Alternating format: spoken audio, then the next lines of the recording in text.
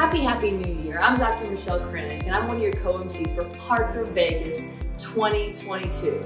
And I know that all of you as chiropractors, as CAs, uh, as an office, as a team, have probably made goals this last week. We make goals for the month, we make goals for the year, and I can tell you uh, the best way to figure out how to accomplish those goals is joining me, joining us at Parker Seminars. And I can tell you that I've been a chiropractor for over 13 years, and for over 13 years, I've been going to Parker Seminars.